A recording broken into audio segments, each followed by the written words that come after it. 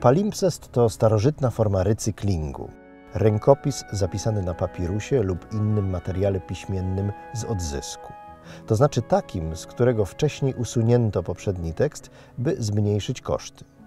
Usuwano go za pomocą mleka lub pumeksu, czasami nawet wielokrotnie. Zawsze jednak na papirusie zostawały ślady poprzednich tekstów. Wprawne oko specjalisty potrafi odczytać nawet kilka warstw prześwitujących spod ostatniego tekstu. Palimpsestów już się nie robi, od kiedy papier stał się tani i powszechnie dostępny, ale palimpsestem się myśli. Na przykład o miastach, w których kiedyś mieszkały inne narodowości, pozostawiając po sobie ślady prześwitujące spod tkanki współczesnej architektury. Palimpsest to nośna metafora. Wreszcie, po 32 latach od wydania oryginalnego, ukazała się w Polsce słynna książka Gerarda Żeneta Palimpsesty, literatura drugiego stopnia.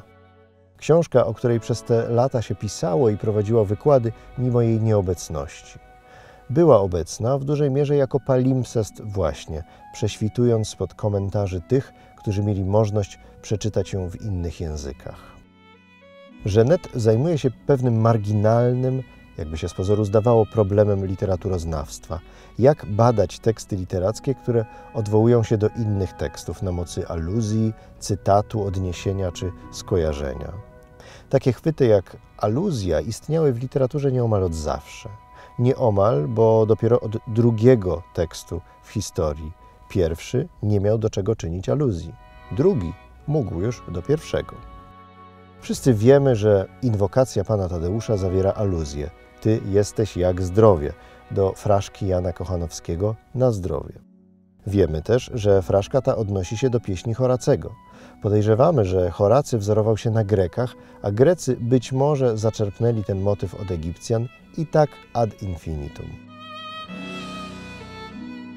Jak więc wyznaczyć granice tekstu? Marginalny z pozoru problem urasta oto do problemu filozoficznego. A gdy jeszcze dodamy do tego pytanie, kto decyduje o tym, do czego tekst się odnosi, autor czy czytelnik, odpowiedzi zaprowadzą nas na próg rewolucji, jaka dokonała się w literaturoznawstwie pod koniec XX wieku.